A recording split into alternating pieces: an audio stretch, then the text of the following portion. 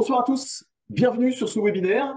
C'est l'avant-dernier de l'année. C'est euh, forcément avec quelqu'un que vous connaissez, mais si vous suivez notre, notre actualité, notre secteur d'activité, vous le connaissez forcément. Il a écrit plein de bouquins.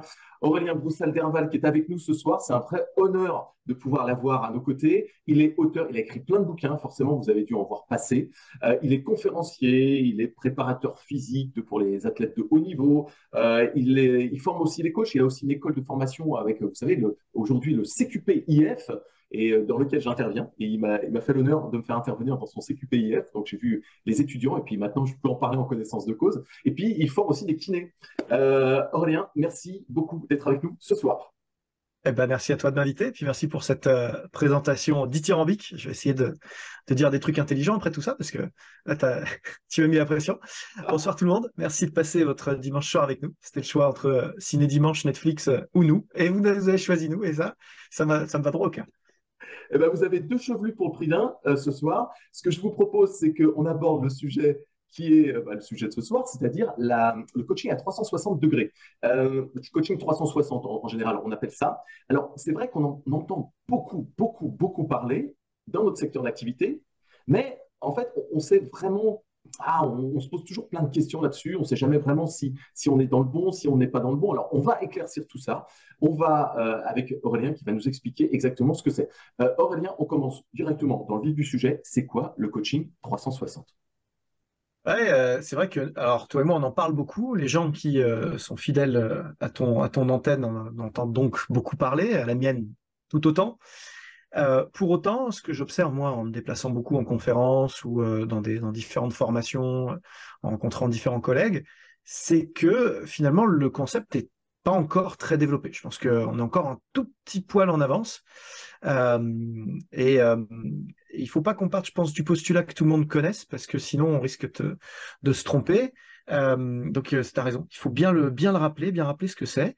C'est une, une, une certaine vision du coaching Aujourd'hui, fitness est un tournant, comme il y en a tous les 10-20 ans. T'en as, en as connu, j'en ai connu au moins un. Euh, là, on en a un gros quand même. C'est peut-être même un, c'est peut-être même un, dérapage, un dérapage, j'espère contrôlé, euh, qui va nous amener vers une autre route complète. Et on le voit, euh, le fitness est complètement en train de se poser tout un tas de questions. Et le personal training n'y échappe pas. Le coaching individuel n'y échappe pas. Euh, avec bah, des contours qui vont se redéfinir, avec euh, un service qui va peut-être se redéfinir, et puis euh, évidemment des contenus qui ne sont pas les mêmes. Alors ça, ça change pas d'habitude. Chaque année, on a une ou deux innovations qui, viennent, qui viennent bouleverser les choses. Mais le coaching 360, c'est vraiment une façon de penser son métier qui est très très différente de ce qu'on faisait jusqu'alors. Jusqu'alors, le, coach individuel, il venait, il délivrait une séance et il repartait. En tout cas, c'est son client qui repartait de, plus en plus. Là, il y a eu l'époque où il allait beaucoup à domicile, et puis maintenant, les gens reviennent quand même beaucoup dans les studios. En tout cas, il y a un face-à-face entraînement qui dure une heure, et puis qui s'arrête un peu là.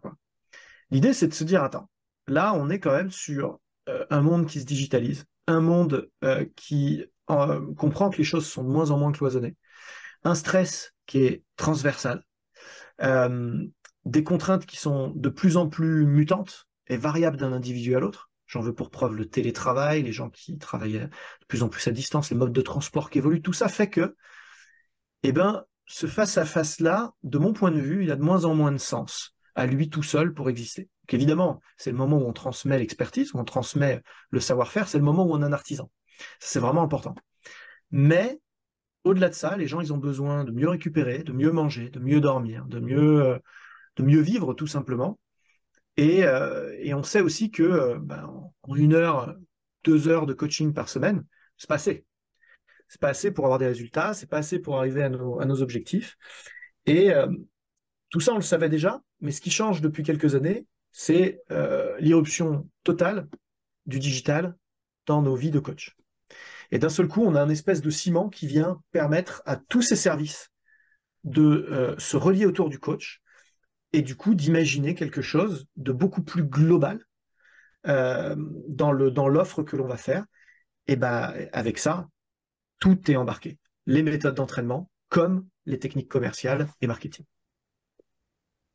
Globalement, on passe euh, d'une situation où on était un peu artisan de la forme à vraiment là, professionnel de, haut niveau de la forme Ce serait ça à peu près? Écoute, euh, je, pense qu'on a toujours été euh, des professionnels de haut niveau et on a toujours été des artisans. En tout cas, les gens qui sont là et qui restent là. Évidemment, il y a un gros turnover dans nos métiers, on le sait. Il y a des gens qui sont de passage, qui ont vu de la lumière, c'est sympa, ils sont imaginés que c'était cool d'être coach et ils partent. Bon. Mais ceux qui restent, il y a énormément de valeur. Moi, je constate que les gens qui, euh, qui sont là depuis 10 ans, 15 ans, 20 ans, parfois plus qu'on connaît toi et moi, euh, je trouve qu'il y a un niveau intellectuel et d'épanouissement qui est très élevé par rapport à d'autres corporations. Euh, et c'est des gens qui, voilà, qui sont plutôt érudits, euh, qui, touchent un peu à toutes les sciences, qui aiment, qui, aiment, beaucoup de choses, qui sont déjà quelque part un peu à 360 dans leur vision de la vie et de leur, leur culture. Et, et, et, en revanche, c'est aussi, ce sont aussi des artisans, parce que tout repose avant tout sur un savoir-faire technique de terrain qui ne se digitalisera pas, lui, à un moment donné, il faut transmettre euh, euh, un squat, il faut l'apprendre, il faut arriver à mettre les gens accroupis et ensuite les faire monter progressivement en performance. Et ça, on le fait euh, par une, vraie approche artisanale qui se transmet de, professeur en élève. Et donc pour moi, les, deux ont toujours été, ont toujours été liés. Non, ce qui change, c'est que maintenant, on va arrêter de supposer que le coaching tel qu'on l'envisageait jusque-là, l'heure de coaching ou les 45 minutes de coaching se suffisent à elles-mêmes, ni économiquement, ni pédagogiquement. On sait très bien, toi et moi, qui nous sommes entraînés énormément. Si on s'était entraîné toute notre vie deux fois 45 minutes par semaine, même avec le meilleur des coachs, on n'aurait jamais progressé. En tout cas, pas dans les proportions suffisantes à vraiment atteindre les objectifs que nous fixent nos clients, qui sont en général très clairs, une perte de poids souvent significative, des gains de force souvent importants, euh, euh, des changements esthétiques euh, radicaux. Bon, tout ça, c'est évidemment un travail constant, continu, à, haute fréquence, beaucoup de sacrifices si on veut vraiment tenir nos promesses. Et c'est tous les jours, et c'est pas que à l'entraînement, évidemment. Hein. On le sait très bien, on brûle 400 calories sur un coaching classique. il y en a 3000 dans la journée, il en manque, hein, c'est pas la grosse partie, donc c'est clair. Donc évidemment, euh, si on veut arriver à tenir nos promesses de coach, donc garder nos clients quelque part et atteindre nos objectifs professionnels, eh ben, il va falloir parler nutrition, il va falloir parler psychologie, il va falloir faire de la planification, il va falloir faire en sorte que les gens y récupèrent, qu'ils aillent bien, qu'ils aient envie de revenir, qu'ils soient en état de reproduire leur charge. Et tout ça, pour moi, c'est le coaching 360.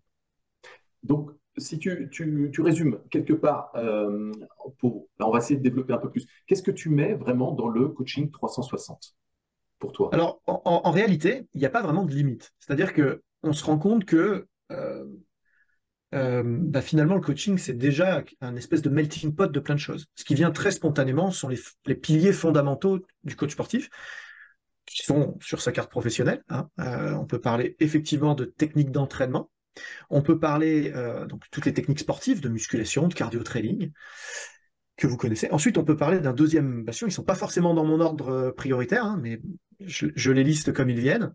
La nutrition, qui pour moi est essentielle. Et effectivement, le coach sportif qui ne s'empare pas de ce que son athlète ou son client euh, mange, bah, il passe à côté d'un vrai levier de réussite. Euh, il euh, il faut pas être surpris si euh, chaque séance est, suivie d'un apéro sauciflard, qu'on n'ait pas les résultats, les résultats escomptés. donc le, voilà, le coach sportif est quelqu'un de pragmatique, ce n'est pas un magicien, et donc on peut mettre un, mouchoir dessus autant qu'on veut, tant qu'on ne prend pas le contrôle de la nutrition, on passe à côté. et puis évidemment, on parle de psychologie aussi, de plus en plus, puisque euh, bah les gens, ils, ont, ils, sont là pour être, euh, pour être bien, pour être mieux. Il faut qu'ils soient déterminés à être ici. On ne peut pas s'entraîner à leur place, sinon tout le monde serait en super forme. C'est fantastique. Ça, c'est pas possible, malheureusement. Chacun doit prendre son corps en main. Et pour ça, il faut le vouloir. On peut pas s'entraîner euh, à la place des gens, et si les gens n'en ont pas vraiment envie. Et donc, il y a évidemment un peu de pédagogie, de psychologie, euh, pour les emmener avec nous. Euh, mais après, on peut, on, peut ouvrir beaucoup plus loin que ça. On peut parler d'énergie euh, pour les gens qui ont la sensibilité et la formation. on peut parler de, d'hypnose pour des, ses vertus de, justement sur les, capacités mentales, mais aussi sur la récupération. on peut parler de toutes les techniques de récupération au sens large. Hein. Il y a des coachs qui sont aussi masseurs, ont aussi une casquette de masseur. Il y a des coachs qui ont euh, une casquette de euh, euh, réathlétiseur, par exemple, pour des gens qui ont été blessés, qui sont passés chez le kiné, qui sont en phase de return to play, mais qui sont toujours pas au niveau où ils étaient avant. Bon, bah, il y a une phase qu'on appelle la réathlétisation. Tout ça, ce sont des services finalement qui compose une grande armoire avec plein de tiroirs. Et en fonction de ce qu'on sait faire et des besoins de notre client, eh ben, on va ouvrir un certain nombre de ces tiroirs à 360 degrés, c'est-à-dire qu'on va, on va reculer devant aucun compromis pour arriver à notre objectif. Et donc, si par exemple, il faut donner des devoirs à la personne pour être certain qu'elle atteigne ses objectifs, eh bien, il faut le faire. Ça, c'est euh, une, euh, une approche purement méthodologique de la chose. C'est-à-dire que je vais coacher les gens dont j'ai la responsabilité de la même manière que je me coacherais moi ou que je coacherais ma famille. Euh, si mon petit frère il a envie de vraiment progresser, je vais dire bah oui mais regarde, regarde comment tu manges, il faut qu'on prenne le contrôle de ça. Et puis regarde, tu vois bien que tu te couches à n'importe quelle heure le soir, tu fais la teuf, il, faut que tu reprennes le contrôle de ça. Donc on va peu à peu, bastion par bastion, ouvrir à 360. Mais ça veut dire que ça veut dire que derrière, on a une approche du métier économique, marketing, business, qui elle aussi change à 360 degrés. Et euh, bah, forcément, il va falloir imaginer de nouveaux modèles, se réinventer sur certains aspects et faire des propositions aux gens pour justement qu'ils bénéficient de toute cette expertise qui s'accumule dans les coachs aujourd'hui euh, et qui va à la fin faire qu'en plus ils vont rester plus longtemps. C'est aussi un levier de fidélisation. Si on résume, euh, le coaching à 360, c'est donc c'est une vision beaucoup plus large qu'on pourrait avoir, c'est-à-dire en allant avec une, zone de captation de, discipline qui est beaucoup plus large que ce qu'on avait il y a quelques années en arrière. Donc, on intègre des disciplines qui auparavant souvent euh, étaient considérées comme euh, hors champ du coaching, qui aujourd'hui sont importantes, tu en as cité quelques-unes, mais aussi c'est le fait de voir à 360 degrés, c'est-à-dire non seulement d'avoir une ouverture euh, visuelle la plus large possible, mais aussi avoir une ouverture d'esprit avec euh, peut-être aussi euh, des, soit des disciplines, mais aussi le, côté business, hein, c'est ça dont tu parlais, avec le modèle économique qui fait que bah, forcément il va falloir s'adapter pour pouvoir bien en vivre de, de, de, cette, de cette passion bah, bah oui, oui, au-delà de l'efficacité, euh, de l'intérêt que l'on porte aux choses et au travail bien fait, ben, si on suit une formation complémentaire euh, sur euh, la récupération, hein, vous inscrivez à coach, coach récup dans mon école, vous suivez, vous obtenez, vous obtenez une certification qui vous permet derrière de, de, mettre en avant des compétences en bain froid, par exemple, ou en pressothérapie. Bon bah, ok, c'est bien de grandir, de s'épanouir, et c'est bien aussi de le valoriser d'une certaine manière. On ne peut pas euh, euh, à tout jamais augmenter nos tarifs euh, à l'heure. Ce n'est pas extensible de manière, de manière infinie, au moins, au moins pédagogiquement parlant. Donc, si on était, je dis n'importe quoi, sur une base de 70 euros de l'heure, évidemment, c'est pas parce que d'un seul coup on sait faire de la pressothérapie qu'on va passer à 80.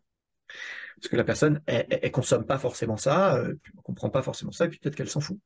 Donc, il va falloir imaginer des moyens de, rentrer dans ces frais, d'avoir un, retour sur un investissement euh, en temps et en argent que vous avez fait en vous formant.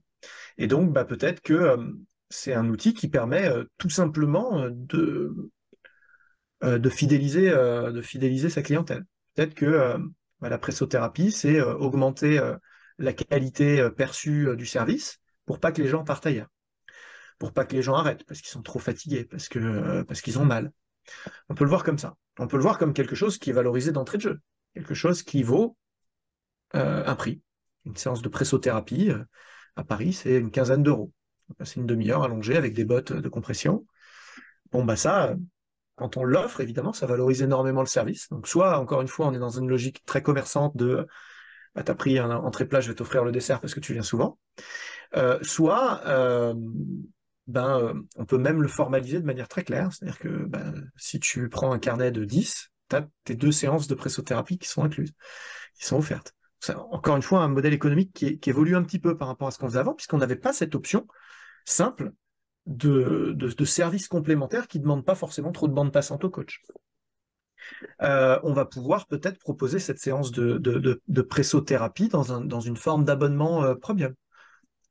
Si on était déjà dans une logique d'abonnement, bon, bah, c'est facile d'avoir plusieurs prix. Si on n'y est pas, c'est l'occasion peut-être d'avoir un peu de récurrence, de passer d'un mode où euh, tout le monde ne prend que les choses à la carte à un mode où on dit, bah, en fait, il y a un service étendu, il y a un coaching plus, et désormais, ok, c'est toujours 70 euros la séance, seulement vous avez un petit abonnement à 10 balles par mois, si vous voulez le prendre, qui vous donne accès à la pressothérapie, au bain froid, et peut-être, je sais pas moi, à la planification à domicile, de séances complémentaires à faire en autonomie.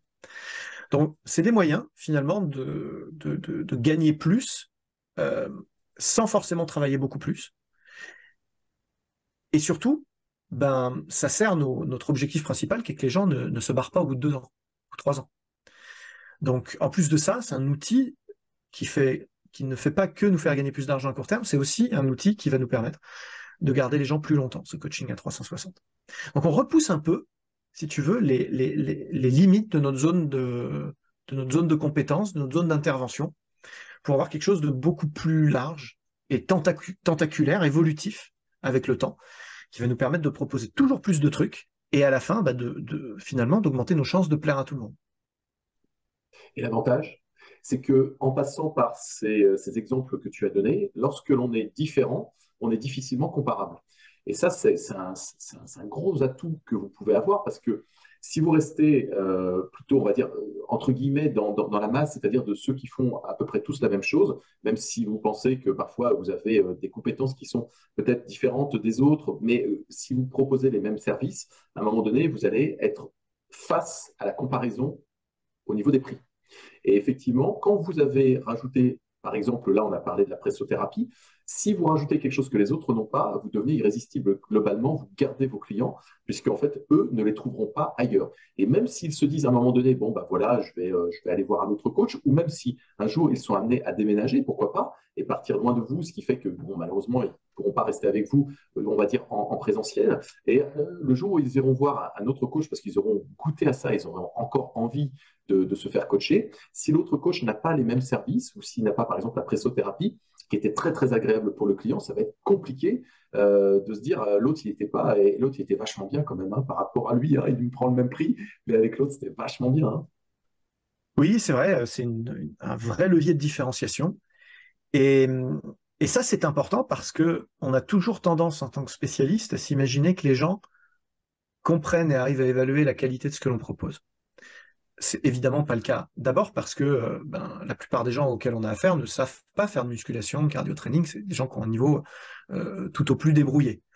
Donc, ils n'ont pas le niveau d'expertise pour savoir qui de Christophe Batz ou Aurélien Roussel-Derval est le meilleur. C'est impossible. Et ils vont pas nous évaluer sur ces critères-là. Ils vont nous évaluer sur notre critère euh, sympathie, sur notre capital sympathie et sur la liaison qu'on va créer avec eux, donc nos capacités finalement un peu d'animateur. et là-dessus, je nous mets à égalité. Ah, alors mince, où est-ce qu'on va se différencier? Eh bien, les choses qui vont être visibles, intelligibles par des gens qui n'ont jamais fait tout ça, eh ben, ça va effectivement être de, des choses très faciles à comprendre. Et euh, un service complémentaire comme la pressothérapie, comme une application de planification de l'entraînement où il reçoit directement sur smartphone. Vous savez que j'utilise XFIT, euh, ou si vous ne le savez pas, ben, je vous conseille d'aller jeter un œil à cette application qui est, juste fantastique, qui fait gagner un temps fou, ben, et, et, qui donne une qualité de service perçu bien au-dessus de la compétition, qui va utiliser encore une fois souvent des tableurs, des, fiches de séances mises en page dans le meilleur des cas. Donc c'est vrai que quand on a un outil, encore une fois, qui nous permet de nous exprimer à 360 et de rassembler tous nos services et de les afficher dans le smartphone, bah, on crée de la différence, on crée de l'originalité et on devient, comme le disait Christophe, incomparable. Et oui, on peut comparer le prof le plus sympa, on ne peut pas comparer le prof le plus technique, ça on n'en sait rien. Par contre, on peut comparer le prof le plus euh, créatif et le plus riche en services. Ça, ça par contre, c'est très clair pour tout le monde. Et plus vous allez effectivement rajouter euh, ou mettre en avant des services que vous proposez, plus la valeur dans l'esprit de la personne va monter. À tel point, c'est que si vous avez, euh, on va dire, un personal trainer qui propose que, en fait, le, dire le package de base avec l'accompagnement de base, comparé à un autre qui va proposer plusieurs services qui peuvent être complémentaires, qui seront complémentaires, en expliquant l'intérêt de ces services, si à un moment donné vous prenez des coachings avec lui, eh ben forcément il, va y avoir la balance, elle va pencher plutôt euh, en faveur de celui qui va proposer du plus. Donc c'est une très très bonne chose. Euh, tu parlais d'Exfit là. Exfit, euh, pour avoir parlé avec, avec l'équipe d'Exfit, ils ont imaginé, ils, ils, font 200, 200 modifications par an minimum sur leur application, ce qui est énorme. J'ai appris ça il n'y a pas très longtemps. 200 modifications, 200 améliorations par an. Et euh, ils ont euh, un, esprit, comme tu le dis, de coaching à 360. Donc, on est vraiment avec cette application XFIT dans les, euh, dans l'esprit de ce dont on parle ce soir. On vous mettra le lien vers XFIT dans juste dessous dans cette vidéo. Vous regarderez dans les commentaires. On vous mettra le lien, puis vous pourrez aller jeter un petit coup d'œil pour savoir si vous ne connaissez pas cette application XFIT. C'est une petite pépite. Oui, c'est vrai, je suis d'accord. D'ailleurs, ça incarne bien, je trouve, le coaching 360 parce que un, des paramètres importants du coaching 360, c'est l'évaluation, c'est la mesure, c'est le monitoring. bon, ça, tout le monde est d'accord pour le dire. effectivement, si je propose des tests un petit peu plus techniques que, que, mes compétiteurs, ben, ça me donne un avantage concurrentiel encore une fois et ça me permet d'objectiver mes résultats et, et de valoriser mon travail. Bon, très bien. Sauf que, encore une fois, les gens, ils ont vu un coach, deux coachs, trois coachs dans toute leur vie. Vous imaginez, on en, forme 13 000 par an, donc ils n'ont ils même pas gratté le vernis. Euh, ils, passent complètement à côté de l'info, ils ne peuvent pas savoir ça. Par contre, l'effet waouh, c'est quand on fait de la science. Ça, par contre, même s'ils ne peuvent pas comparer avec les autres, et si tout le monde le fait quand même, quand vous faites de la science et de la mesure tangible, là, ça change tout. Donc c'est pour ça que depuis euh, quelques temps, vous me voyez beaucoup parler, par exemple, de Kinvent, donc de plateforme de force. Les plateformes de force, c'est la méga mode aux US. Tous les PT, les personal trainers, ils ont tous une paire de plateformes de force qui leur permet de monitorer la proprioception, de tester l'équilibre, la posture, de monitorer les squats, les sauts, l'explosivité, tout un tas de paramètres qui jusque-là euh, étaient immesurables en fait. Et donc on avait des gens qui avaient l'impression de ne pas progresser, parce qu'on les entraînait à 360, mais on les testait pas à 360. Donc on leur faisait faire du cardio, de l'équilibre, euh, de la posture, du gainage, évidemment de la force, et on mesurait, je simplifie un peu, de la force en squat, de la force en développé couché, un peu de souplesse sur des tests très basiques, et puis éventuellement un test euh, de cardio euh, sur tapis ou dans le bois. et on, les pèse. Bon, pas de bol, plus on s'entraîne en général, plus on pèse. Donc déjà, ça ne nous arrange pas. Ensuite, plus on vieillit, et moins d'efforts. bon, euh, je simplifie aussi un petit peu, mais enfin, globalement, on a de grandes chances, encore une fois, de ne pas tenir nos promesses. Alors que si ça se trouve, tous ces gens, ils ont fait plus de 100% en proprioception, en équilibre les yeux fermés, ils sont plus 400%. Euh, si ça se trouve, ils ont une qualité d'appui qui est complètement évoluée, euh, un niveau d'explosivité qui est un vrai euh, signe de, sport santé. Hein. C'est un, indicateur, un, gold standard. Hein. C'est le Dow Jones, c'est le CAC, le 40 du, euh, de, la forme, le, RFD. Bon, bah, tout ça, on ne pouvait pas le mesurer. Avec un simple saut ou un, tirage combiné avec un saut sur une plateforme de force, on a la mesure. Et bien, tout ça, euh, immédiatement, XFIT, ils l'ont intégré. Ils intégré, vous avez une plateforme qui Kinvent, bam, c'est connectable avec XFIT, on est à 360, votre client reçoit sur son smartphone tous ses résultats en temps réel, mis en valeur, il peut plus dire, coach, j'ai l'impression que je ne progresse pas. J'ai un pote qui est kiné, que tu, euh, que tu connais, euh, qui utilise Kinvent. Euh, c'est vraiment génial parce que parfois, en fait, effectivement, là, Aurélien nous parle de, de plateforme, mais on, s'imagine une plateforme, on s'imagine quelque chose de relativement imposant, alors qu'en réalité, ce sont des petits modules. Regardez, je vous donne, euh, je donne un exemple. Ce sont des petits modules comme ça qui sont facilement transportables, euh, que vous pouvez mettre dans votre sac, vous pouvez mettre, euh, enfin, vous pouvez emmener chez les clients, et ça vous permet de faire ces mesures qui sont des mesures intelligentes. Il faut imaginer un pèse-personne un peu, un peu amélioré. Et puis bon, il y a tout un tas d'autres capteurs, évidemment. C'était les plateformes de force, étant l'outil, le dynamomètre à la mode, euh, je, je l'ai pris en priorité, mais on aurait effectivement pu parler des accéléromètres, des centrales inertielles, des, euh, des dynamomètres de saisie aussi. Hein. Le, grip est, corrélé à absolument tout. Euh, tiens, c'est celui du milieu, là, bon, vous imaginez fort bien à quoi ça ressemble, hein, un truc que, je vais serrer le plus fort possible. Bon, bah ça, c'est corrélé au vieillissement, c'est corrélé au système sympathique parasympathique, donc au niveau de, de, charge globale et au niveau de fatigue. éventuellement, ça permet de détecter du surmenage. Euh, c'est corrélé à peu près tout, le, grip, c'est spectaculaire comme outil. Bon, bah, tout ça, c'est poussé euh, directement euh, dans, vos, plateformes aujourd'hui. Alors, on a beaucoup parlé de, techno et de, et de parce que c'est ce qu'il y a de plus tangible et de plus facile à comprendre. Mais le coaching 360, évidemment, il est lié par le digital de manière organique, c'est évident, puisque tout se connecte. Mais L'intention, l'intention, c'est pas forcément de dépenser plein de sous et de, devenir un coach technophile. C'est pas du tout ça la philosophie. C'est une des manifestations, c'est ça. Euh, je, vais prendre un exemple très très simple de coaching 360 qui, qui, existe depuis toujours, mais qui est très peu répandu pour une raison que je n'explique pas. On le sait, toutes les 6 à 7 semaines, qu'est-ce qui se passe? Il y a les vacances scolaires. Bon, euh, c'est prévisible des vacances scolaires. On sait qu'il y en a des plus longues que d'autres. On sait que les vacances scolaires d'été, c'est un moment où il y a du churn, où on, perd des clients. On sait que les vacances de Noël, c'est pareil. Alors on en gagne des nouveaux, puisqu'il y a des bonnes résolutions qui suivent, heureusement. Euh, la bonne résolution est sans doute l'invention marketing du 21e siècle. Mais euh, reste que, on perd des gens. On perd des tonnes de gens. On perd des tonnes de gens. Pourquoi? Parce qu'on les a pas vus pendant deux semaines, pendant trois semaines, qui se font rattraper par la vie, par la fainéantise, par le froid. Parce que loin des yeux, loin du cœur. Et bien le coaching à 360, c'est ne serait-ce que ça, maintenir un lien ferme, précis avec ces gens-là. Et donc, là où avant, ils partaient éventuellement avec un carnet d'entraînement en vacances, un petit coup de fil par semaine. Alors Jean-Jean, t'en es où de tes, euh, deux fois euh, cinq minutes? Il faut faire des trucs très simples, hein. sinon si, si c'est pas réaliste, on est mort. C'est juste de voir l'équivalent de ce que le cahier de vacances en termes de volume pour les gamins est au, euh, est au à l'école vraiment. Donc on va en faire 20%, c'est pas grave, ça existe. On maintient un, un, niveau de contact. Et du coup, quand on reprend en septembre, personne n'oublie de revenir à l'école. Il faut que ce soit pareil avec le coaching individuel. Évidemment, le digital nous permet de voir tout ça. D'un seul coup, on a tout en live. On sait exactement ce qu'ils ont fait et ce qu'ils n'ont pas fait, ces gros cochons. Et eh ben voilà, et voilà, c'est ce qui nous manquait pour faire du 360. D'un seul coup, on reste au contact. Et vous savez quoi? Eh ben les gens, c'est ce, qui, c'est ce dont ils ont besoin en fait. Ils partent en vacances sereins en se disant tout ce que j'ai fait, je vais pas le brûler parce que on va garder ce petit lien quand même et je vais rester dans le coup, je vais rester dans le rythme. Oui, et parfois il y a, il y a la partie plaisir qui pourrait, qui pourrait prédominer avec l'envie de, prendre un peu de, soin de soi, enfin de, plaisir, pardon, plutôt que soin de soi, et euh, de se dire, bah, tiens, je vais profiter un peu des vacances. Mais là, derrière, il y a toujours l'application qui, euh, qui rappelle que ah bah, il y a le coach qui n'est pas très très loin. Big Brother. Et en étant, à 360, en étant à 360, on peut même organiser la partie plaisir. C'est-à-dire que euh, bah, les gens, des fois, ils, ils, se disent, tiens, je voudrais vraiment me reposer. Mais ils ne savent pas par où commencer, ils ne savent pas se reposer. Et là, on va pouvoir donner des conseils très précis très précis sur euh, des trucs euh, simples qui sont pas forcément euh, désagréables ou rejetés par tout le monde. Évidemment, les bains froids, faut faut, un peu d'acculturation, faut, faut les amener à ça. Il y a vrai travail de coaching préalable, ok? on peut pas donner ça comme devoir de vacances d'emblée à tout le monde. Mais tout le monde aime bien les bains chauds.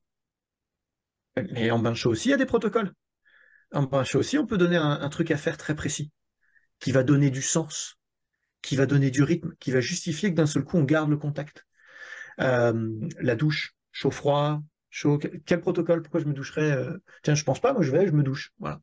Bah, tu sais quoi, maintenant tu vas faire un petit exercice. Tu vas diminuer doucement la, doucement la température. Tu vas essayer de passer 30 secondes, puis 40, puis 50 en froid, et après tu repars sur du chaud. Douche, douche, douche écossaise.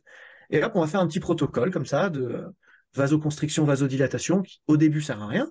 C'est juste un peu de mindset et de, rigueur et de, de, rester un petit peu au contact.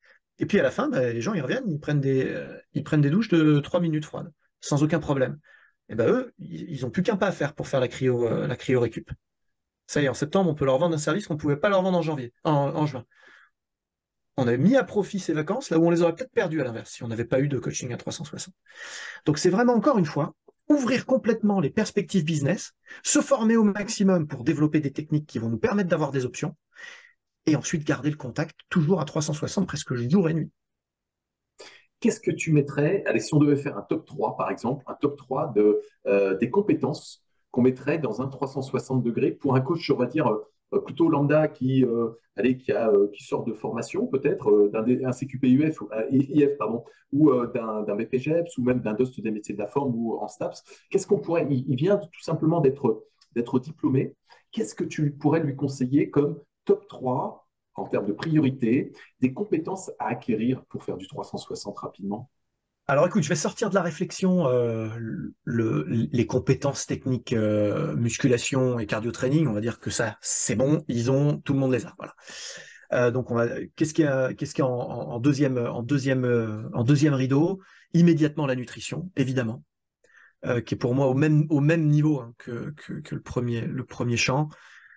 L'immense majorité des gens qui viennent, qui viennent nous voir, ils viennent pour euh, maigrir et être plus beau encore aujourd'hui, même à l'ère du sport santé. C'est ce qu'ils viennent chercher. Donc c'est ce qu'il faut leur donner.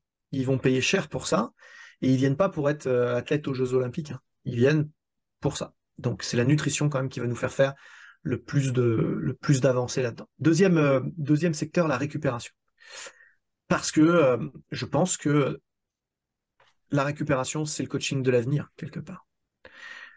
Euh, j'ai plusieurs arguments pour ça. Le premier, c'est que euh, tout le monde est fatigué et qu'à regarder autour de nous. Tout le monde est épuisé, épuisé de nos vies, euh, nos vies stressantes, de nos vies perso, nos vies pro. C'est dur pour tout le monde et tout le monde est épuisé.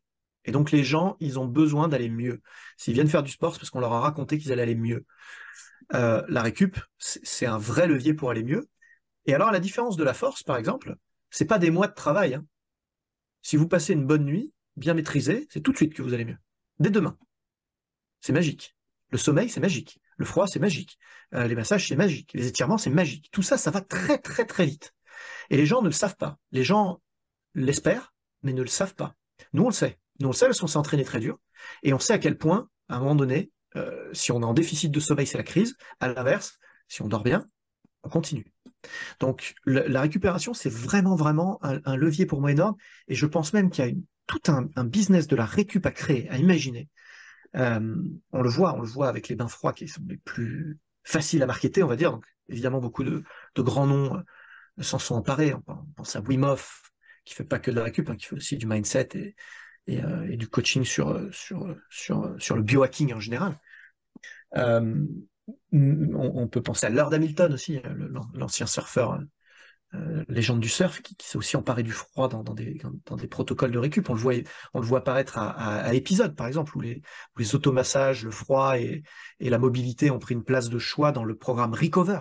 Donc on sent qu'il y a une tendance à la, à la récupération comme un produit fitness à part entière. Et, rappelez-vous vos cours de BE, pour les plus anciens d'entre vous, euh, vos cours de BP euh, euh, AG2F pour les moyennement anciens, de BPAF pour les déjà anciens et de CQP pour les plus nouveaux. La charge est indissociable de la récupération. On l'a dit ça ou on l'a pas dit 20 fois, ce couple charge-récupération C'est la base ou c'est pas la base C'est un des tout premiers cours qu'on a. Mais la récup, elle va où? Elle va où? On fait notre coaching d'une heure et après, on fait comme si ça n'existait pas. Le truc, c'est juste un concept. Et bien, transformons-le transformons-le en, concept marketing aussi. Alors, vendons-le. Parce que c'est sans doute ce qui va faire que ça va marcher à la fin, cette histoire. Donc, pour moi, la récup, c'est vraiment le deuxième bloc après la nutrition. Les deux sont un peu liés. Hein. On récupère mieux quand on mange bien, évidemment. Euh, euh, tu m'as dit trois. Hein. Tu m'as dit trois. Euh, je, vais aller à quatre, si ça t'embête pas, parce que je n'arrive pas à choisir entre la prépa mentale, la prépa mentale, la psycho du sport en général, qui va nous permettre encore une fois de, je l'ai dit un peu en intro, mais qui va nous permettre de, garder les gens motivés, de détecter leurs envies, peut-être de travailler sur euh, tout un tas de choses. Vous savez, en, prépa, moi, je, m'estime complètement compétent euh, à haut niveau parce que je n'ai pas exercé, mais j'ai quand même un master en, prépa mentale. Et, en préparation mentale, je vous, conseille un super livre qui s'appelle L'Encyclopédie de la, la préparation mentale, écrit, écrite par euh, Weinberg et Gould. Et ce, livre-là, il vous explique que euh, le, surmenage, euh, le surentraînement, c'est une motivation qui a mal tourné. Alors je vous fais une version très très courte, et il y a des tonnes d'études là-dessus qui sont passionnantes, et qui nous exposent le surmenage d'un point de vue psychologique, non pas d'un point de vue physiologique comme il est très souvent abordé, et à quel point le stress cumulé et appliqué de manière constante mène au surmenage parce que d'un seul coup, euh, notre motivation va ailleurs que à la tâche qui nous passionnait jusqu'alors. Elle va à la survie, à la protection, elle va à d'autres choses, et du coup, toute la bande passante est prise, et d'un seul coup, bah, comme un bouchon de champagne, ça explose. Bon, ben, si, on, si d'un seul coup, on maîtrise ces concepts de préparation mentale, eh ben, probablement qu'on est capable d'aider des gens qui viennent déjà un peu surmenés, de les détecter, de les monitorer, évidemment d'éviter que notre action ne mène au surmenage. Ça, c'est pire que mieux. Ils viennent, ils sont déjà stressés, on leur rajoute un stress physique, cognitif, euh, émotionnel parfois, en leur, en faire, je sais pas, du crossfit. Eh ben ouais, ils vont aller au surmenage alors que le sport était censé être un exutoire. Donc, euh, évidemment, le bloc prépa mental, et je fais vraiment une version très comprimée parce qu'il y a tellement de choses à dire que c'est passionnant, me paraît essentiel. Et je ne sais pas choisir entre ça et euh, le biohacking. Alors, le biohacking, c'est un peu plus récent. La prépa mentale, c'est là depuis toujours. C'est juste que ça n'a pas été développé assez, euh, ça n'a pas été porté de la même manière que la prépa physique, c'est peut-être moins évident, euh, et ça, a été boudé injustement pour plein de raisons. Le biohacking, c'est très nouveau. Ah, le biohacking, vous allez en entendre parler de plus en plus. Et ce sont toutes les techniques qui vont nous permettre non pas de vraiment s'entraîner à être meilleur, pas que, ce sont toutes les techniques qui vont nous permettre de débrider notre corps et notre esprit mais pas de manière euh, magique. Je vous parle de, réflexe, je vous parle de physiologie, je vous parle d'activation, je vous parle d'un seul coup de, vous vous rappelez, euh, les plus anciens d'entre vous, ils, ont peut-être, ils sont peut-être déplacés en scooter. Avant les trottinettes électriques, il y avait beaucoup de petits scooters. Alors, il y a toujours des scooters, mais des gros. Euh, non, non, nous, on avait des petits scooters, tu te rappelles, des 50 cm3. Ah et tu sais, tu mettais un coup de tournevis bien senti à un bon endroit, là, et on débridait le moteur. Tu te rappelles de ça? D'un seul coup, tu prenais 20 km/h. C'est ça le biohacking. C'est exactement ça le biohacking. C'est débrider le moteur de la mobilette. Et eh bien ça, euh, je vous donne un exemple très simple, je vais revenir sur le froid. Euh, si on s'entraîne régulièrement à s'exposer au froid, on provoque tout un tas, au vrai froid, euh, ces choses-là on les observe en dessous de 5 degrés, on provoque tout un tas d'adaptations physiologiques durables, constantes.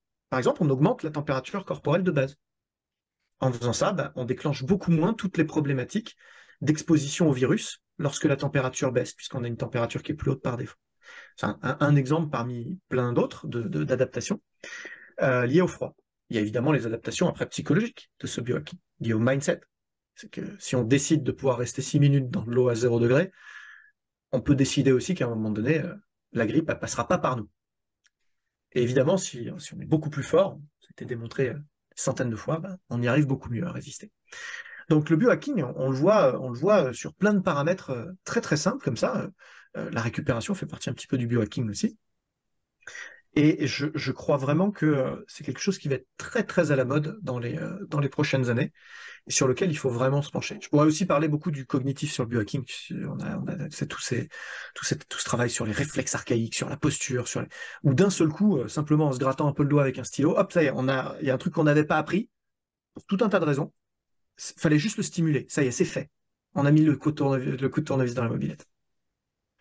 Et, euh, là, euh, effectivement, euh, on en parle, on en, a parlé tous les deux, enfin, on a, évoqué le sujet lorsqu'on a fait, il n'y a pas très très longtemps, un podcast ensemble. On l'a vu au FITEX aussi. Surtout l'année prochaine, venez au FITEX les 11, 12, 13 octobre 2024. C'est très important. Vous verrez, Adrien, il sera Aurélien, pardon, il sera là. Et je parlais d'Adrien, pourquoi? Parce que je pensais à Adrien Chartier qui euh, parlait de la, de, la reprogrammation neuroposturale, mais nous, on parle aussi très régulièrement et, euh, de, de, l'hypnose. Et en hacking, l'hypnose, c'est génial. D'ailleurs, ce soir, on a, on a Nelly et puis on a Thaïs qui sont formés en hypnose, notamment parmi vous qui nous regardez.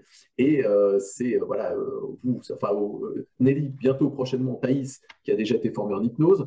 sur le, le biohacking, c'est une, une pépite, quoi. C'est un truc, euh, c'est tellement impressionnant la facilité avec laquelle on peut justement amener quelqu'un à de la performance en faisant sauter des, blocages ou euh, même des choses du passé hein, qui qu'on a de contraintes depuis des années, des années, que c'est ça en est euh, mais hallucinant, quoi. C'est c'est vraiment bluffant, bluffant.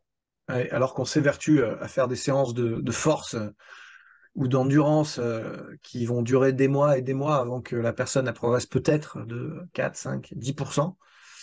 Euh, effectivement, le fait de maîtriser ces outils-là nous permet dans une approche 360 du coaching de dire attends, tu sais quoi, on va commencer déjà par euh, étendre ta zone de confort. On va commencer par élargir ta zone de confort avant de chercher à en sortir. On va en sortir, t'inquiète pas, t'inquiète pas, on va s'entraîner dur. Mais d'abord, on va s'assurer qu'on n'a pas une zone de confort toute petite comme ça. Et, là, c'est pas de petits coups de tournevis, pas de petits réglages, dans les premières semaines, il y a plein de chantiers énormes sur la plupart des gens. Énormes. Euh, tiens, euh, Thaïs, on, va peut-être euh, en profiter. Thaïs, toi qui, es formé en hypnose, avant, avant que tu sois formé, si tu peux allumer ton, tu, peux allumer ton micro ou pas? Super, bienvenue. Hein. avant que tu sois formé, donc on parlait de la, du biohacking, notamment toi sur la discipline, puisque c'est très très large. Hein. Et toi en, hypnose, qu'est-ce que tu as pu constater par rapport à quelqu'un qui était quelqu'un de lambda avant une séance en hypnose et après une séance en hypnose? Qu'on peut lever pas mal de verrous et notamment des, des, en ce qui concerne les craintes, euh, pour euh, les craintes d'aller dans des amplitudes un peu plus, plus grandes en disant mais je vais jamais y arriver. Et, et, et, le coup que tu nous avais dit de filmer en état d'hypnose en disant mais regarde tu l'as fait donc tu es capable ça marche du feu de Dieu juste en et, ça c'est même pas c'est même pas en, en, en approfondissement d'hypnose. Juste euh, faire réaliser qu'il y a des fois juste on s'arrête parce qu'on pense qu'on n'est pas capable et que des fois juste se dire ben, et juste le dire, si tu es capable, la personne, elle va pas y croire. De, ouais, elle dit ça parce qu'elle est ma coach et qu'elle veut que j'y arrive et tout.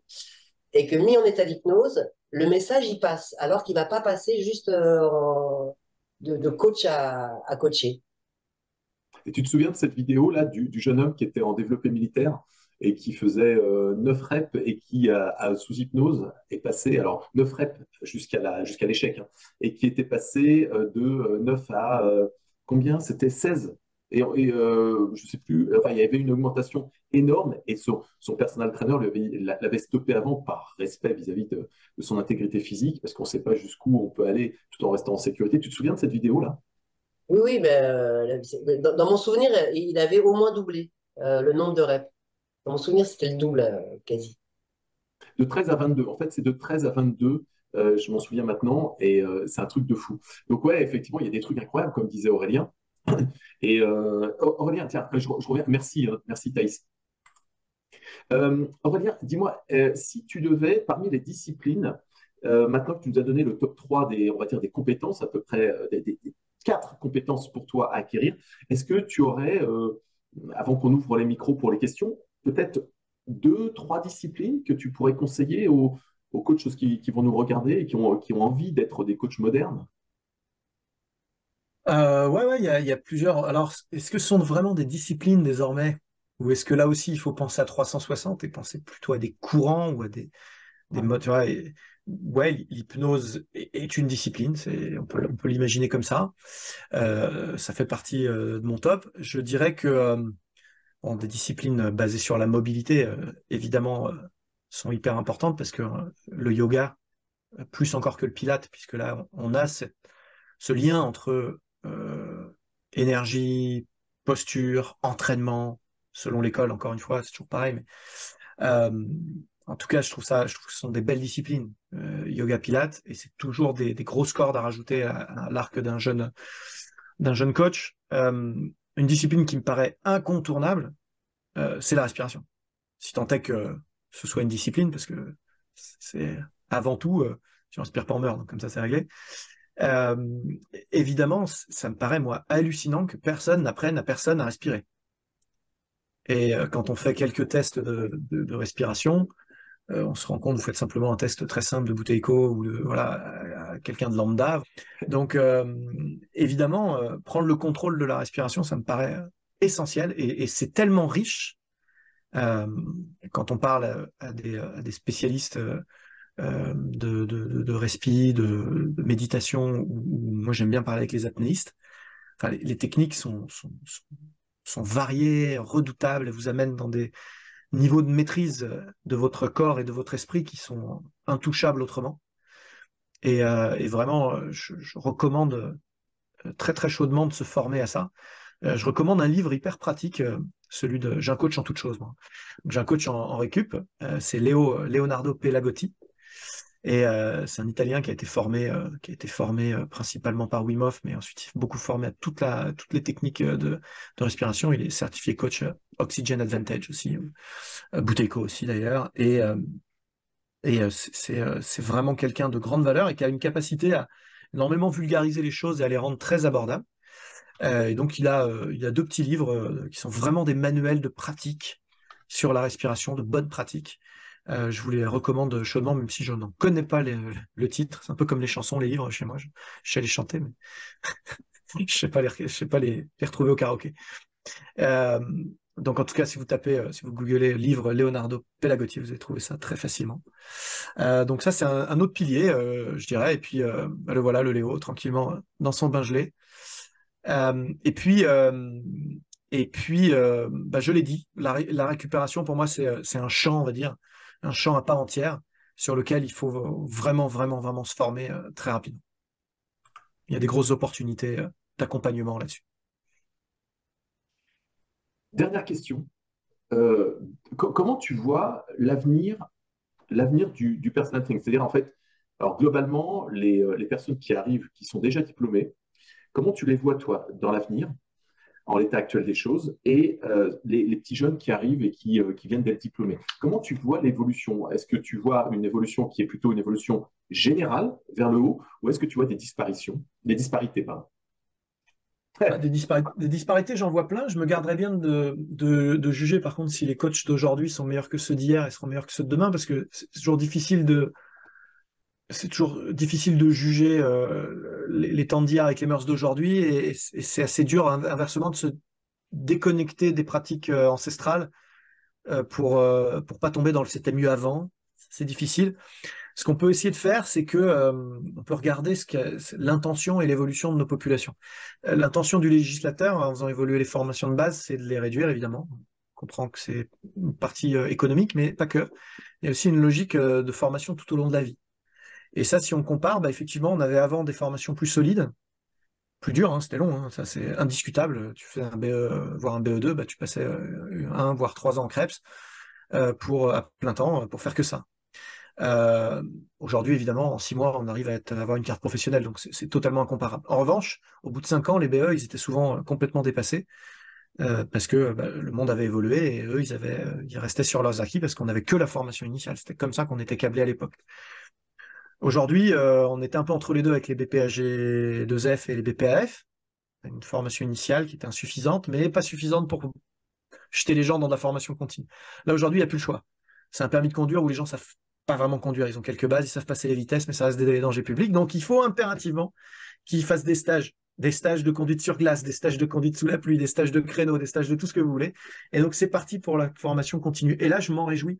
Je m'en réjouis parce que je pense que euh, je suis tellement différent du coach que j'étais il y a 20 ans que je vois pas comment euh, on peut faire autrement. Donc ça me paraît euh, tellement important et tellement génial que ça, c'est vraiment très très bien. Et je pense que cette nouvelle génération de coachs, elle a pour elle cette curiosité, cet accès illimité à l'information, qui fait que s'ils sont passionnés et s'ils vont au bout des choses, euh, ils peuvent être encore meilleurs que, nous on l'était. Donc, euh, en tout cas, c'est ce qu'on leur souhaite, ce qu'on souhaite euh, aux futurs gens qui vont pratiquer avec eux.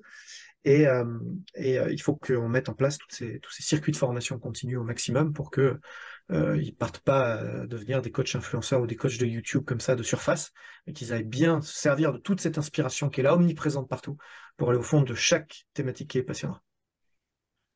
Il y a quelques jours de ça, euh, je, parlais avec, euh, avec un, un personal qui a, bien, qui a vraiment bien évolué, et je lui disais, mais quand j'ai commencé, ça rejoint ce que tu disais là, quand j'ai commencé, si j'avais eu à ma disposition toutes les, euh, toutes les voies d'amélioration qu'on a aujourd'hui, mais, euh, euh, j'aurais été bien, au niveau où je suis aujourd'hui, mais en avance dans le temps. C'est un peu comme si, en fait, la formation, c'est un peu, l'information et la formation, les deux, c'est comme si c'était du, concentré, du concentré de compétences qu'on prenait comme ça et qui nous permettait d'accélérer le temps. Un peu comme si on avait, vous savez, on parle souvent des trous de verre qui sont euh, des, raccourcis euh, dans l'espace ou dans le temps, et ben là, c'est comme si on prenait un trou de verre et que quelque part, bah, on, a, on, avait, euh, on avait acquis en beaucoup moins de temps qu'avant, de façon ultra compressée, beaucoup plus de choses que nous, avec Aurélien, on avait la possibilité à notre époque.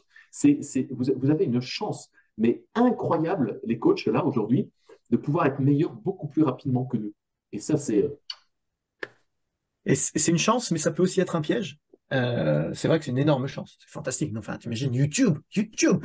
Moi, j'allais euh, dans les dans la librairie de dans la, la, bibliothèque de l'INSEP mmh. euh, consulter les archives en russe traduites. Enfin, c'était n'importe pour tout, deux types de gainage, quoi. Tu vois Aujourd'hui, bon voilà, tout est là, l'inspiration est partout, les techniciens sont partout, mais le danger, euh, bah, c'est un peu la lecture rapide. Tu sais, les techniques de lecture en diagonale où on saute les mots, où on suit avec le stylo et puis d'un seul coup on revient en arrière. Puis à la fin, tu lis un livre en 10 minutes. Bon. Le risque, c'est qu'il y ait des trous dans la raquette. Le risque, c'est qu'il y ait tellement d'infos qui arrivent tellement vite. Nous, à l'inverse, bah, une fois que tu avais fait ton, épluchage à l'INSEP euh, en russe, bah, tes deux infos sur le gainage, tu les avais, tu les avais pour de bon. C'était, euh, c'est là, je les ai encore, il n'y a pas de problème. Ça va pas, ça va, voilà. Mais euh, eux, ils n'auront pas ça. Donc, ils auront des bases beaucoup plus fragiles, puisqu'ils ont sans doute brûlé certaines étapes. D'où la nécessité importante de ne pas tomber dans ce piège-là et à un moment donné de se, poser, de prendre les matchs les uns après les autres. Le monde est infini, donc on ne pourra pas être bon partout. Et il va falloir faire des choix. Et c'est pour ça aussi que ces questions que tu me posais sont importantes. Dans tout ça, je vais devenir expert en quoi Je ne vais pas être expert en tout. En tout cas, c'est vraiment pas souhaitable. Donc, euh, je, vais choisir quels grands axes qui me paraissent importants. Déjà, si vous attaquez au bloc de la récup, vous en avez pour deux ans devant vous avant de devenir vraiment un pratiquant avancé. Je parle même pas d'expertise, hein, je parle vraiment d'être avancé. Donc déjà, enclencher ça avec un deuxième truc sur le mouvement, par exemple, ça va déjà bien vous occuper pendant les deux prochaines années en sortant de votre CQP. On se reparle en, 2026. Magnifique, magnifique. Est-ce que nos amis là qui êtes présents parmi vous, est-ce que euh, vous auriez euh, peut-être une question, deux questions On peut, on a encore le temps pour oui. questions. Oui, j'ai une question. Bonjour à tous les deux. Euh, voilà. Salut. Bonjour Aurélien. donc du coup, tu as énuméré donc plein de choses en introduction. Euh, donc plein de choses qui sont vraiment très intéressantes. Et euh, donc toi qui es formateur en CQP, euh, est-ce que tu penses qu'il est possible d'ouvrir une formation CQP 360 à long terme? C'est ce que j'essaye de faire à court terme même. Ah ouais, ok. Après, on est quand même contraint, on est quand même contraint par des, par des, maquettes, hein, par des maquettes qui, qui déjà qui répondent à une partie de, des concepteurs qui, qui, avaient des besoins, qui avaient une vision du métier, que je trouve assez complète pour le coup. Euh, même si c'est encore une fois, comme le dit Christophe, c'est ah, compressé, donc il faut trouver les, raccourcis pour et puis les, perspectives aussi pour, pour compenser ça. Euh, maintenant, euh, bah, comme toute maquette, elle répond aussi à des critères de gens qui vont les évaluer, notamment chez France Compétences, donc il faut rentrer un peu dans les clous un peu stricts. Donc c'est pas simple. Néanmoins, ce cadre-là nous donne quand même pas mal de, de marge de manœuvre. Et aujourd'hui, ce message, en tout cas dans mon CQP, il perfuse beaucoup. Hein. On parle très très librement de différentes options et méthodologiques et business. On les met sans aucun tabou, hein, Christophe, en, interaction, aux prises. Et euh, on essaye de se rapprocher de ça. Alors évidemment, c'est pas totalement ce que j'ai décrit là en termes de, coaching à 360. Je, ne peux pas mettre de l'hypnose dedans. Je peux pas mettre des bains froids. On n'a pas le temps pour ça. Par contre, je peux ouvrir les fenêtres vers ces perspectives-là et dire voilà, maintenant vous avez un premier niveau de compétence, un premier niveau de certification qui vous permet d'encadrer euh, ce que, ce que notre industrie considère encore aujourd'hui comme des fondamentaux. Euh, derrière, vous n'êtes qu'au début de l'aventure. Clairement, ça ne fait que commencer. D'accord, super. Alors, Merci beaucoup. Vous, n'imaginez pas, le jour où j'ai vu l'équipe pédagogique, quand Aurélien euh, m'a dit est-ce que ça te dirait d'intervenir pour, les, les CQPIF la, session, la première session que, tu as mise en place, quand j'ai vu l'équipe pédagogique, j'ai dit, mais c'est un truc de, de malade. Tu as réussi à regrouper des, euh, gens dans ton équipe, c'est un truc de fou. Depuis le temps où je suis dans le domaine de la formation, pour avoir ouvert quatre écoles de formation, c'est la première fois que je vois une équipe pédagogique, mais avec autant, de disparités, mais autant de compétences qui permettent justement d'avoir. Euh, ils, vont sortir les, les, CQPIF, ils vont être, euh, incroyables. Ça va être un truc de malade. Là. Non, merci, c'est gentil. J'ai de la chance d'avoir des potes euh, très forts et très fidèles. Donc, c'est vrai que ça fait des années, des années qu'on travaille tous ensemble, qu'on a une vision commune et qu'on avait envie de la partager. Et pour autant, alors qu'on a une vision commune de, de ce que devrait être une formation, on n'a pas tous la même vision de ce qu'est l'entraînement et de ce qu'on met derrière. Euh, et, je cherche vraiment, c'est là qu'il y a du 360 quelque part. C'est que à la fin, on, le sait, il n'y a pas un seul chemin, il n'y a pas une seule vérité. Et du coup, je vais avoir un Thomas Serboneski qui est, une, référence mondiale dans l'approche art style de l'entraînement, que ce soit à la barre olympique ou, au kettlebell, et eh ben, qui va côtoyer euh, Olivier Bollier qui approche pas du tout la, préparation de la même manière, qui est vraiment sur la préparation beaucoup plus sportive, ou euh, ou euh, bah, euh, un Danny Barbosa par exemple qui est, qui, est un, cadre un ancien cadre qui a vu tous les diplômes depuis la nuit des temps et qui lui se raccroche à des approches très sécuritaires très protocolées de la, culture physique pour le coup. C'est vraiment ça qu'il fait. Et évidemment ils disent pas forcément la même chose mais à la fin on aura eu toutes ces visions. Et à la fin c'est comme ça qu'on construit sa propre approche sa propre méthodologie et son propre coaching à 360 et qu'on devient incomparable là, là tu as regroupé une équipe pédagogique. Euh, en tout cas, top. Euh, si vous nous écoutez, si vous êtes euh, dans un des CQPIF ou vous pensez rentrer dans un des, une des sections d'Aurélien, à des formations, vous allez, mais euh, vous allez kiffer. Thaïs, et, Nelly dans le chat dit que ça donne envie de passer le CQPIF. Euh, je vais te dire un truc, honnêtement, moi aussi ça m'a donné envie de passer. Je me glisse dans les formations. J'ai fait de la morpho-anatomie avec Rudy Koya, je me suis régalé. Évidemment, j'ai énormément de bases sur le sujet, mais le fait de l'entendre, lui, culturiste naturel, en parler avec autant de passion et après il a été très très loin en plus dans son approche donc il est évidemment beaucoup plus beaucoup plus pointu que je que je, ne le suis et, j'ai appris plein de trucs voilà dans le CQP et j'ai des gens qui sont inscrits pour la prochaine session qui sont BE ou BP et qui euh, qui ont embrayé dedans et, et, c'est pas surprenant au final parce que en 20 ans il s'est passé il s'est passé enfin moi c'est ma, ma mon, mon échelle de temps à moi en 20 ans il s'est passé beaucoup de choses c'est énorme. Bon, en tout cas, merci beaucoup. Ah, je crois, je crois qu'il y a une dernière question peut-être? Ah. euh, de ah bah, C'est juste pour dire excellent, merci. Moi, ça fait 23 ans que j'ai un brevet d'État métier de la forme. Euh, il y a énormément besoin de dépoussiérer plein de choses. Je trouve que de chercher un peu à droite à gauche, c'est hyper compliqué. Donc là, de tout rassembler, euh, c'est exceptionnel. Et si les anciens BE peuvent refaire des nouveaux diplômes, et je dis allons-y, parce que je trouve qu'il manque justement, on n'a pas une fédération propre à proprement parler, on va demander, on n'a pas de réponse. Enfin, c'est on nage euh, en eau trouble alors qu'il y a plein de choses là. Donc euh, merci. Voilà, tout simplement. Bah, merci pour ton message.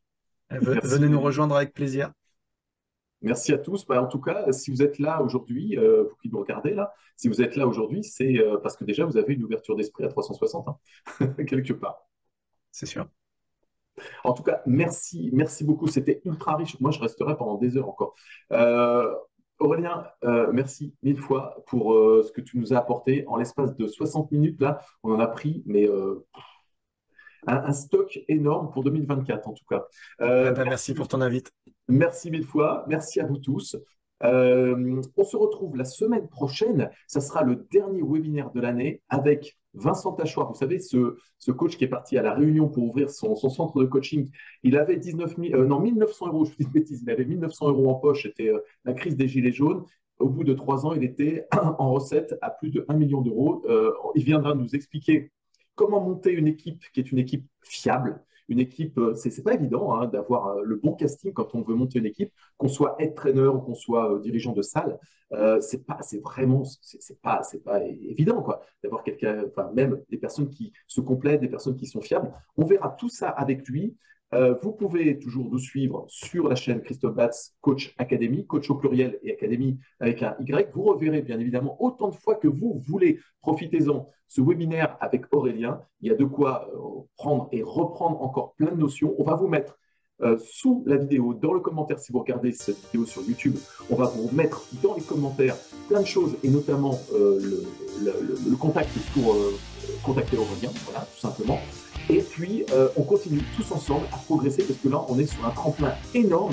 Et 2024, je sens que ça va être quelque chose. Il y a quelque chose que je sens là sur 2024 qui me fait dire que oh, vous, les coachs sportifs, vous allez être encore meilleurs. On verra ça. En tout cas, mille fois, mille fois, merci pour votre confiance et à très très vite.